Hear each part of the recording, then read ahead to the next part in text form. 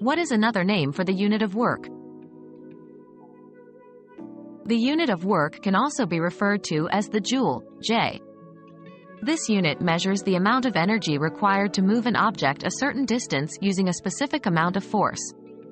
1 joule is equal to 1 newton meter, which means that 1 joule of work is performed when a force of 1 newton is applied to an object and moves it 1 meter in the direction of the force. The joule is named after James Prescott Joule, a British physicist who studied the relationship between heat and energy.